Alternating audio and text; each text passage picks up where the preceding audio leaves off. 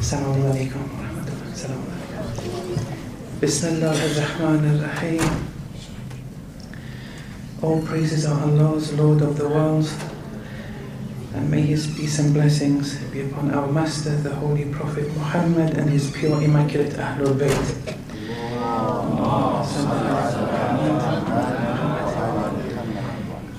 The theme was Raj'at for the last seven or eight nights. And we've covered now three different positions in relation to this Shia article of faith, which entails a kind of returning. One perspective was that the purely righteous and the purely evil will return after the coming of the 12th Imam.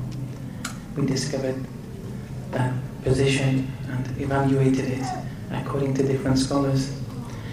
Then what then we covered the socio-political raj'at or the Ahlul Bayt supremacy raj'at where the Shia law, the law of Ahlul Bayt will reign the whole world. And we discussed the concept of the 12 Mahdis in that light The 12 Mahdis following the 12th Imam. And then we covered in two sessions the concept of the Mithali Raj'at. And in short, whoever understands the verse فَتَمَثَّلَ لَهُ بَشَرًا سَوِيًّا would be able to have a good understanding in relation to what the Mithali Raj'at would entail after the coming of the 12th Imam. Now, the fourth and final perspective,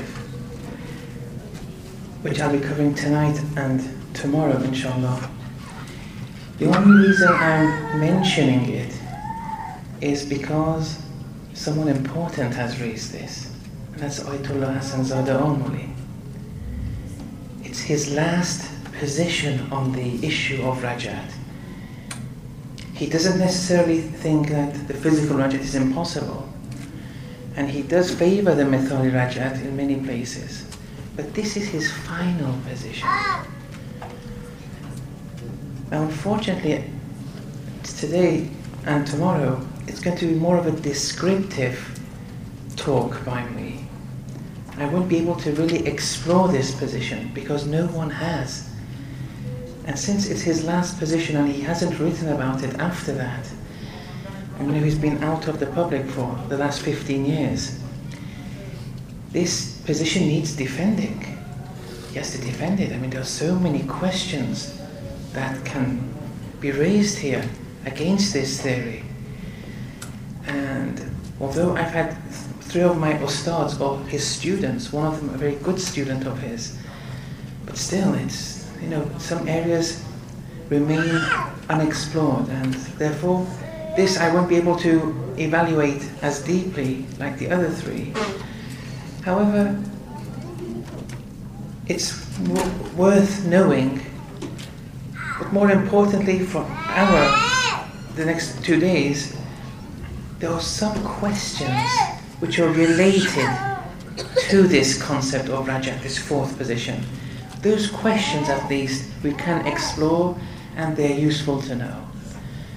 But the position, and just for say what the position of Rajat is, very simply, he says that Rajat is the return of people, namely the prophets and imams too, new prophets, new imams, after the cycle of Adam, when they come, when the cycle of Adam finishes, this will be explained a bit in a minute, new prophets and new imams will come.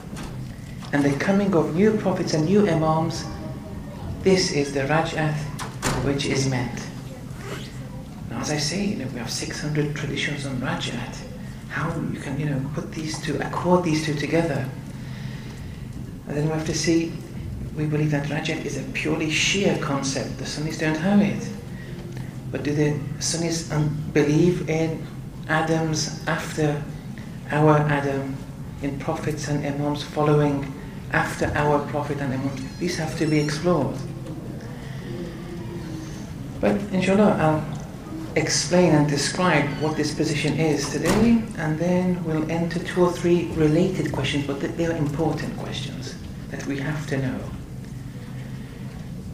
And they may even help in relation to other important themes, such as evolution, if you have a good grasp of those related concepts.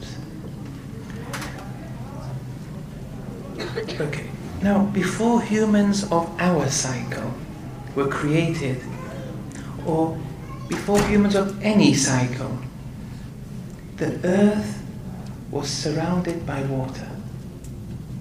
The whole surface area of the planet, the whole surface area of it was surrounded by water. Science can be shown to prove this.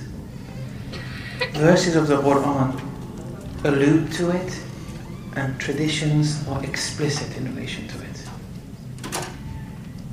This view has its scientific supporters, and actually, I once raised this issue to a sister of this community, and she, I think she's the first Iranian who actually went to either the North Pole or the South Pole. I, I can't remember which pole she went, but she's the first Iranian.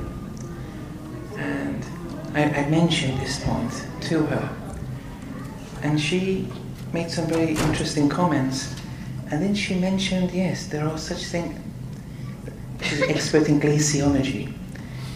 And she said, yes, there are some things that they call the Milankovitch cycles. And the cycles that this person, Milankovitch, claims uh, are very similar to this theory. So it's not, not something which is totally out of the you know, ordinary. Now, where the verses and the traditions, that's what I'll be speaking about, they allude to that as a result of a sequence of divinely guided natural events, on the 25th of of the 11th lunar month of the Islamic calendar, Dhul Qa'dah, on the 25th, one year, it doesn't say which year, but one in one year, the first dry surface area of the planet opened up. Now, some of you may automatically, when I said the 25th of Dhul Qa'dah, said yes, Dahwul Ard scattering of the earth, scattering of the surface area of the planet, a scattering occurs. And actually, it's very mustahab to fast that day. And it has a certain etiquette with a number of actions that are recommended to do, and it's in the Mafati. In the Holy Quran, chapter 91, verse 6, وَالْأَرْضِ وَمَا تَحَاهَا Allah is swearing by the earth and Him who spread it. Just one point here whenever you see the word Ard in the Holy Quran, it's usually translated as earth. And that's the prima facie meaning. But by earth, it doesn't mean the whole planet. Ard, the external meaning of it, is in reference to the surface area of the planet, not the whole planet There's a difference there. The Arabs use another word for the planet. Now, on the 25th of Dhul Qa'dah, in one year, long time ago, the first dry surface area of the planet opened up. And that piece of land that opened up was the space that the Kaaba now is located. The space the first space of the surface area of the planet, space wise, which opened up because it was covered with water. The first area which opened up was the space where the Kaaba is located. Because the building isn't the criterion in Mecca. That building has changed several times. It's been destroyed, built with different stones and everything. That area, that space is holy. That earth is holy. And we have traditions. Duhiyat al-ard min al-ka'bah. The earth scattered starting from the Kaaba, meaning that space. That was the first place in, this, in the wide surface area of the whole earth which opened up, the dry surface area opening up. Everywhere was covered by, by water. Allah's house was to be built there. And this house and this space was to be made the subject matter of a number of important wajib duties. Something significant in that space. In Karbala, Najaf, all these are very sacred places, but they're not the subject matter to any wajib duties, but they're very holy. Now, Ibn Sina, in one of his works, speaks of this in relation to the concept of consecutive qiyamas. Now, this is important to acknowledge. Consecutive qiyamas, consecutive resurrections.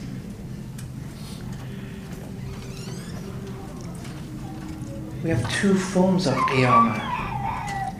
Two forms of resurrection exist. We sometimes not mix them up, but we regard them as one We have a physical qiyamah where certain events will occur إذا الشمس كورت إذا الجبال سيرت The sun is wound up, wound up the, the mountains are set moving, if you like. إذا البحار فجرت The seas are all merging together. These things happen and delineate the end of a cycle of people also. That's physical qiyamah.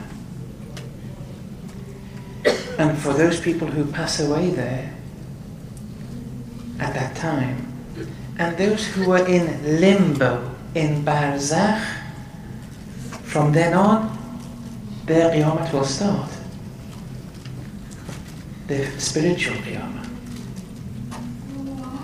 But spiritual qiyamah, in general, barzakh and qiyamah, happens when one dies. إذا مات الإنسان فهو في قيامته. When someone dies, his qiyamah starts. Barzakh starts and then the spiritual qiyamah continues.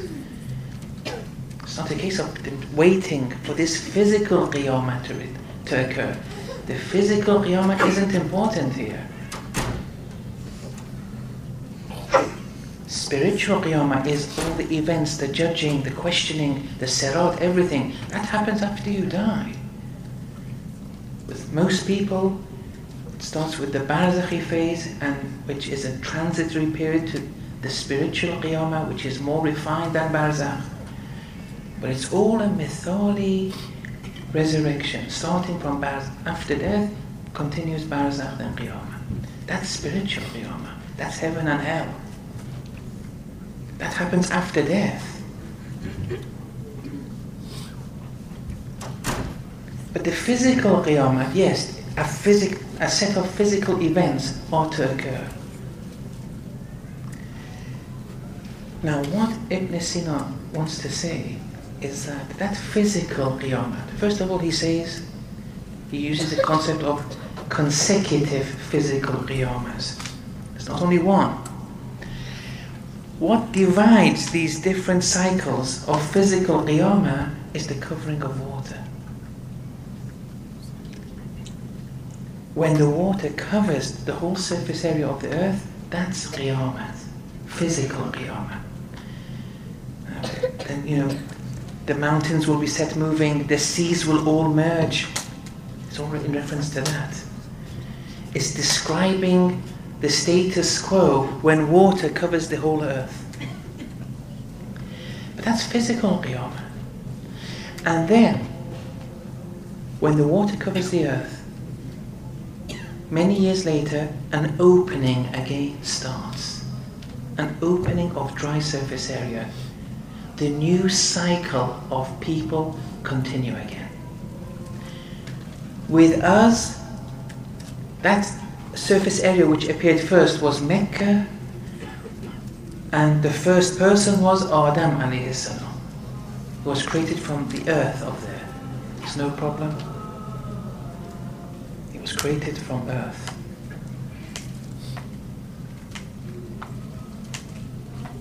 Maybe in the next cycle, when this earth, the water covers everywhere, and then there'll be an opening, that opening may be in another place.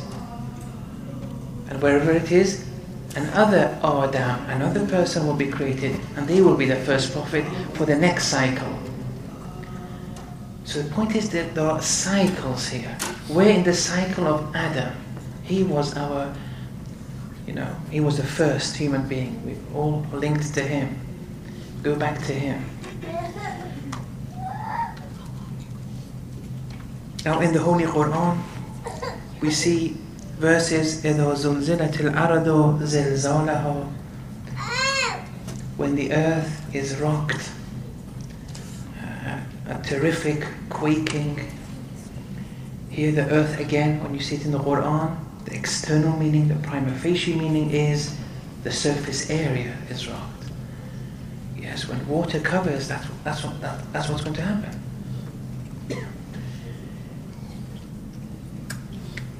But don't limit these verses only to the physical dimension. All these have esoteric dimensions to it. Remember when we spoke about Al earth, Imam Khomeini believes that esoterically, ours, when you want to commentate esoterically, it's the heart. All these verses, if you only limited to the physical dimension, you're limiting the Quran. Don't forget, every verse, 70,000 dimensions. Okay, we can never say 100% this is the esoteric meaning or commentary, but we can say maybe. Now here the scholars say, the day when the heart trembles, a terrific quaking or trembling. Now this is the spiritual phenomena. You see? When that embodiment of actions arise. وأخرجت الأرض أثقالها أخرجت الأرض Some people should get a lot of meaning from that.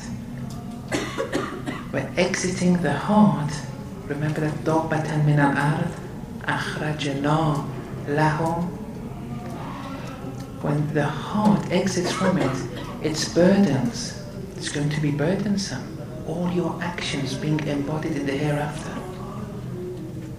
قال الإنسان ما لها What's all this, man will say. It's not going to be a pretty sight, spiritual qiyamah. Anyway, the point is these verses, don't just limit them to the physical understanding. There's a physical dimension, there's a barzakhi dimension, there's many immaterial dimensions, one by one. There's no end.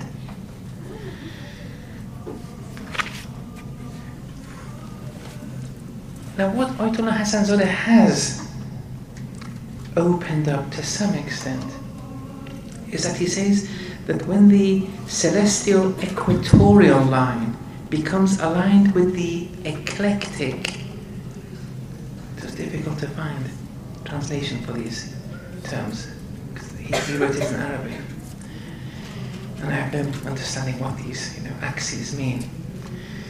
But when these two axes become aligned, he says all this will occur.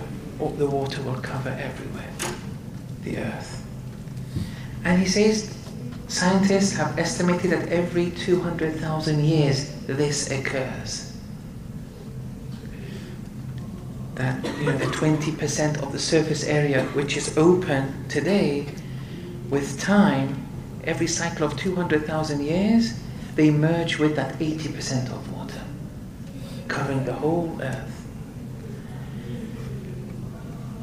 And this concept of this locking up of the surface area of the earth with water is called this locking up. Ratq. It's in the Quran. This opening is called fatq. The opening of the surface area. Ratq and fatq.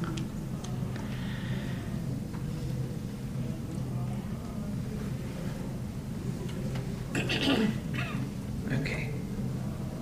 So, dahul ar, the scattering or opening of the surface area of the earth, signifies the commencement of new creation that succeeds the previous qiyamah, the previous physical qiyamah, which is indicated by that total covering of the planet with water. And each cycle of creation starts with the opening of the earth and ends with that physical qiyamah, the covering of the earth with water.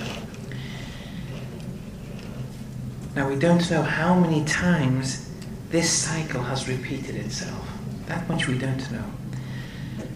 But the cosmos always was from pre eternity. Now this will be opened up tomorrow. There's no such thing as a beginning. It's always been cosmos. This idea that from nothing something was created that's a deficient understanding, a deficient world view of what is in this cosmos. Because nothingness doesn't exist. You can't point to anything say this is nothing. It's impossible. Non existence isn't a reality. So, how do we understand creation? That just with time I'll explain. So these estimates that scientists give that the Earth was created this many years ago, it's okay. But these are theoretical speculations, and it's good to know. But you know, don't swear by them. It's not something, these are just, and they themselves, they keep on changing. They, they speak about the Big Bang, it's okay. Know what the Big Bang is. Read it, read about it, but make sure it doesn't go against fundamentally important philosophical principles. But it's okay to know about it.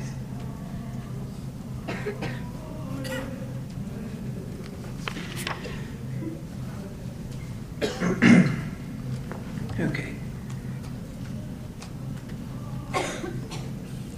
Now, and that's one meaning of Rabbul Alameen, the nurturer of all worlds, from cycle to cycle. Allah is nurturing these, these worlds. That's one meaning of Rabbul Alameen. When you say the Lord of the worlds, the nurturer of the worlds, Rab, that's what He does. This will be made more evident inshallah tomorrow. Now this physical qiyamah, the covering of the surface area of the earth with water, this theoretically leads to the destruction of all life, especially human life. But Ayatollah Hassan says it doesn't lead to the destruction of marine life, creatures living in the sea. They continue. So there is a link through those marine animals. It's not like with humans. Then we start with a new Adam. That's different. Although according to Ayatollah Hassanzadeh, we start with a new Adam. I'm going to introduce a scholar tomorrow where the theories change a bit. But marine life, yes, it continues. There is a continuity in marine biology.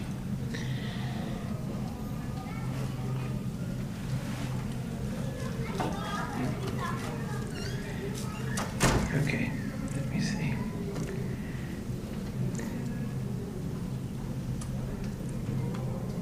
In relation to the creation of humans, also these are these are just pre- preliminary points. I mean, tomorrow most of these.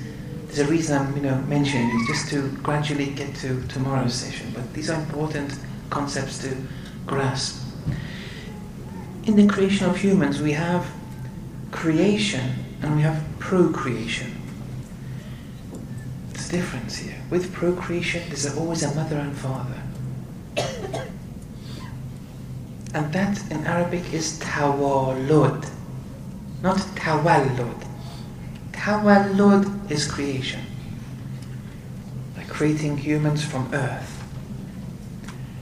But tawalud is procreation. The majority of scholars believe that the creation of Adam, the creation of Eve, the creation of Nabi Isa, salam, these are examples of creation. Tawallud, because there was no father and mother involved. But the rest of us, we were procreated. There's a mother and a father involved. And this creation and procreation applies to animals and plants too.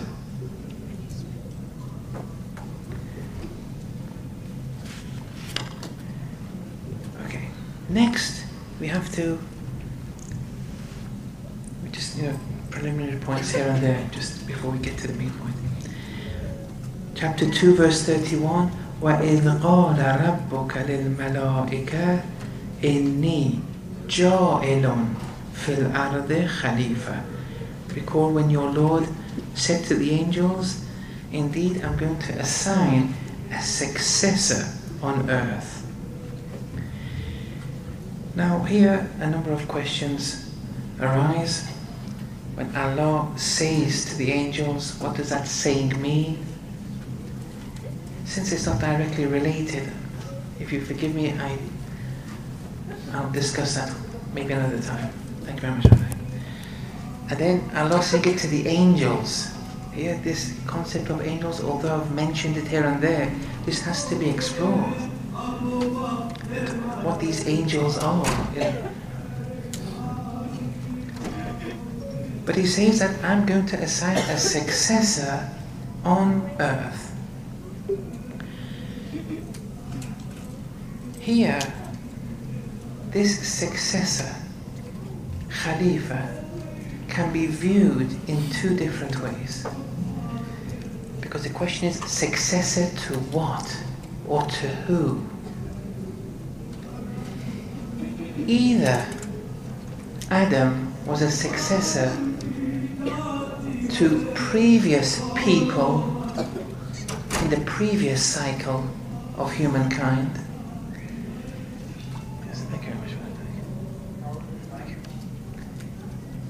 or he is succeeding being a representative of Allah. Both are possible. Because in the verse it says, I'm going to assign a successor on earth. It doesn't say my successor. Allah doesn't say that. And since it's used in the absolute sense, there are different ways we can interpret this. For example, in relation to the story of Dawood alayhi salam, there Allah, the context is referring that we're assigning him as my successor. But here, a successor is assigned.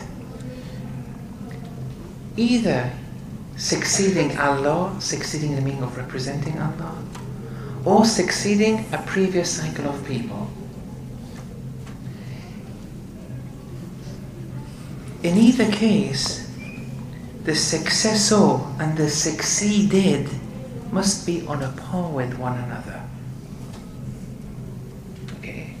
The successor has to be on a par with the succeeded. Now, if one is a successor to a previous people, coming after the previous cycle, Adam is now coming succeeding them that's okay. It shows that the previous people also like Adam, who's succeeding them, married and had lives like me and you. And the traditions do support that. People like me and you, okay, maybe a bit, their spiritual potential was maybe lesser, still, they had lives. Otherwise, if they were totally different, it, it wouldn't make sense for Adam to be a Khalifa to them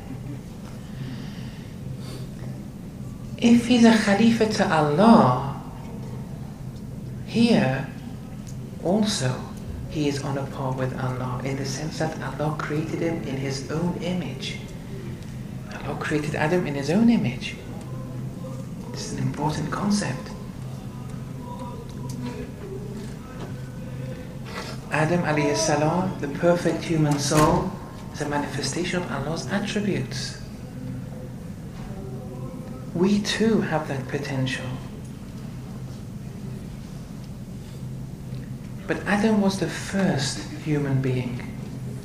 Being the first human being, you have to be the per- have the perfect soul. Because if the first human being isn't perfect, then he'll have an excuse in the hereafter, saying, "Well, there was no one to guide me." The first person has to be a true guide, has to be a prophet, has to be a proof on earth. So he was Khalifatullah. We too have that potential though of being Khalifatullah. And we have traditions, this is just on the margin, an ethical point. It's one tradition where the Imam says, at times of war, don't stare too much at the enemy. Because that enemy potentially is Khalifatullah true, they're an enemy. But don't hate people. You hate actions. And in war, the whole purpose of war is to end a set of actions being realized. The fact that people die is secondary. That's why they would always say, don't kill. Do you mean a minimum to kill people? Only out of necessity then. Don't destroy plants, don't kill animals. That's nothing to do with war. These are just secondary side effects that result. War is only to put an end to certain ideological thoughts and actions. But we should never hate creation though. In Islam we believe in hate the crime but not the person. This, this is the truth. Because every person is potentially Khalifatullah.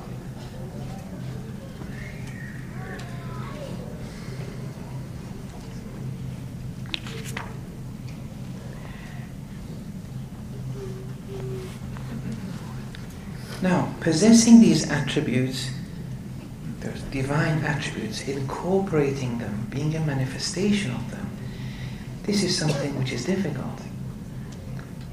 If you do acquire them, you become Khalifatullah.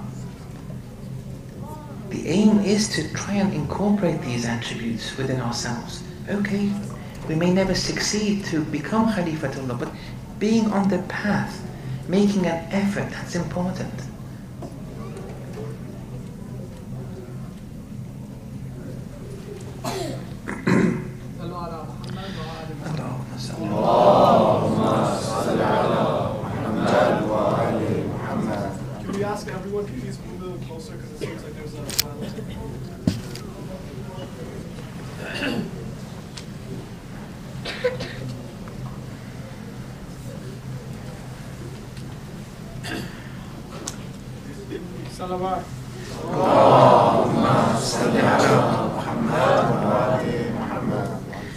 So, in either way, though, this human Khalifa, this human successor, now be it successor to Allah or to, to the previous cycle,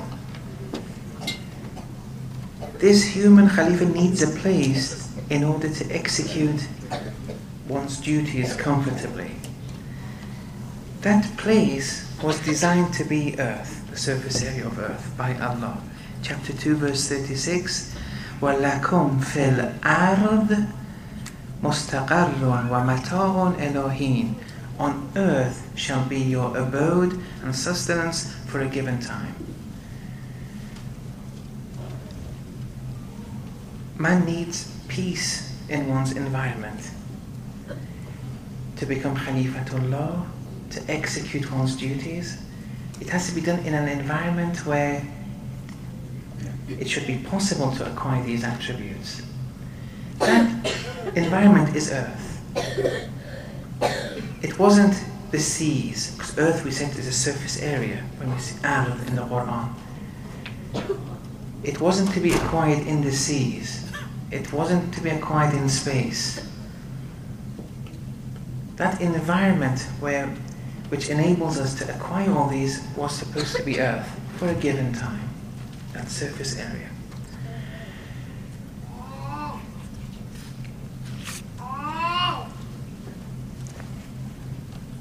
Okay.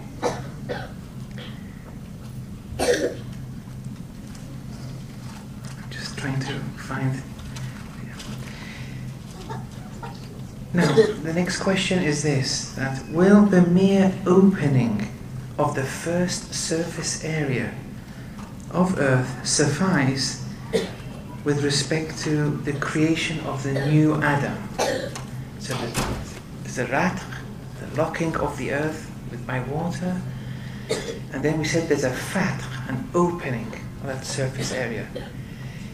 The question is, is that mere opening, will that suffice or must it be more than just opening? And the answer is, no, the scattering must qualify. There has to be a scattering of earth before the creation of Adam starts. Because that mere opening won't qualify to make the earth an abode and sustenance for a given time. There has to be a scattering there. There has to be some earth opened up. That's another point.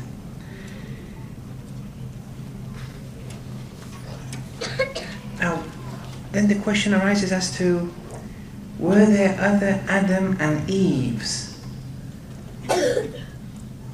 created when Adam was created and Eve? Were there other people who were they created at the same time for their children, for example, to marry? Or was only Adam and Eve created and the rest procreated? This is also something which has to be touched. Actually, there's a difference of opinion here, which we'll go into tomorrow. Allama Tabatabai believes that no, in the realm of creation, that was only Adam and Eve. Everything else were, everyone else were procreated. It seems that Ayatollah Hassan Zadeh is of the belief that it wasn't only Adam and Eve who were procreated. There were others too. But there's no evidence for that. It seems that Allama's opinion may be predominant here. Although we'll go into that more inshallah tomorrow. That's not to say it's you know impossible for others to have been created at the time, same time as Adam and Eve were created. It's possible rationally. It's just evidence-wise it's difficult. In the traditions, it speaks of Adam's sons marrying Huris, for example, or jinns. Now, they're not authentic traditions by any means, but they can be justified in the Irfani sense. And here again, the key to opening this, which, which I don't want to, is again that verse. فَتَمَثَّلَ لَهُ بَشَرًا سَوِيًّا that verse is a key to many of these dilemmas. In other traditions, there's mention, although the traditions are weak again, there's mention that Adam, Adam's sons married women from the previous cycle. It mentions the name of the previous cycle. That, that will explain maybe the genetic continuity between us and people who lived before 10,000 years of age. Ten, before 10,000 years ago. When Adam was speaking 7 to 10,000 years ago. But there were people before. This, this talk of uh, marriage in one of the traditions that Adam's sons married women from the previous cycle. Now, if we were to accept that, then what about that covering? Where the earth is all covered with water. How are we going to explain that? That also needs exploring here. It's not impossible for people to survive that covering. It is theoretically or rationally possible for people from a previous cycle to enter this new cycle. No one is saying it's impossible. But anyway, these things have to be explored more. In any case, we have plenty of alternatives. We don't automatically have to go to evolution. Unfortunately, many scholars haven't touched the subject of evolution as it should be touched. But it's amazing that almost 40 years ago, Mustafa Khomeini, the elder son of the late Imam Khomeini, he did touch upon this. And he analyzed it through many angles. And inshallah, I'll mention some of his commentaries tomorrow in relation to this. Okay, so where were we? The verse. Inni ja'ilun fil arde khalifa. A bit of Arabic syntax now. Inni means I. Ja'ilun. I. I am. Ja'ilun means one who assigns. What is what is Allah assigning? Khalifa fil ard.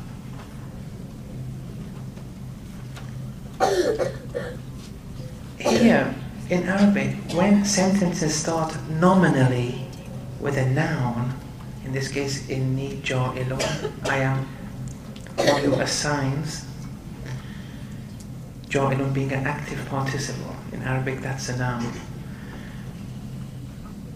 Here, that verse, or that sentence, what the content of it indicates permanence and constancy. It means Allah always, from pre-eternity to post-eternity, is assigning successors on earth. Also suggesting this constancy and this eternity of assigning, the verse is in me. I, Allah is saying this, I am the assigner. As if being Ja'el, being an assigner of successorship, is something, an attribute which is essential to Allah, inseparable to Allah. It's one of His essential attributes. As long as Allah is, which, which, is, which is always from pre eternity to post eternity, He's always assigning.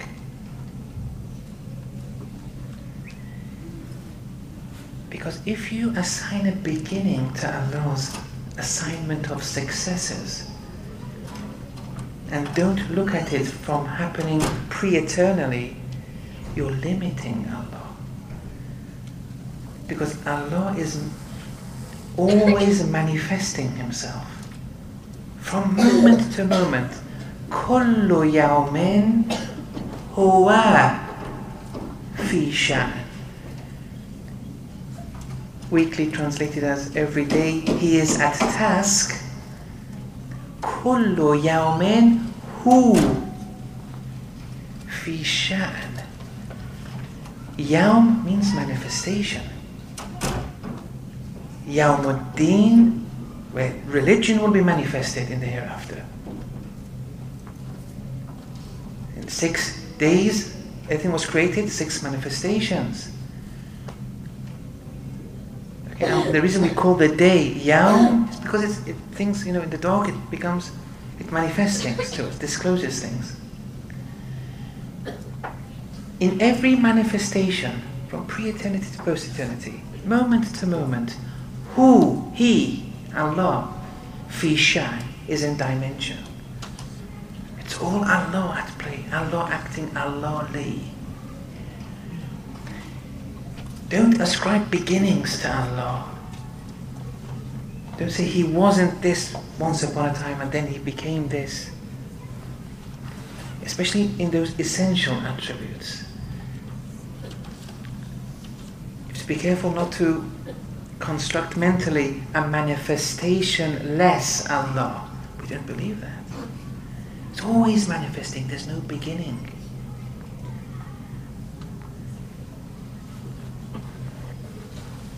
As long as he was, there was always power, Allah's power. He was always alive.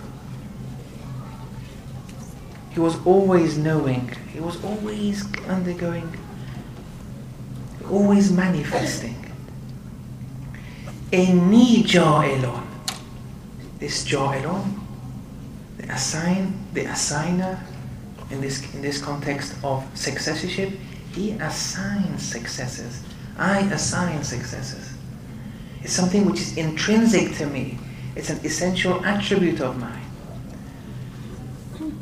As long as, whenever Allah was, is, will be, He'll always assign these successors. And that means there were always people, there were always Adams before our Adam. There were always cycles of people from pre eternity. There will always be Adams even after our cycle, post eternally. There's no end. Allah doesn't stop acting Allah Do we have traditions to prove this analysis of this verse? Yes. And here Mustafa Khomeini enters the scene with an incredible commentary of this verse, supporting it by traditions. He has a tafsir, five volumes, and then he passed away and was martyred, so he wasn't able to finish it. But there's five volumes, each volume was a thousand pages, and he wrote it in Arabic. So it's 5,000 pages, and it ends with the 40th verse of the second chapter of the Quran. So it's something heavy here.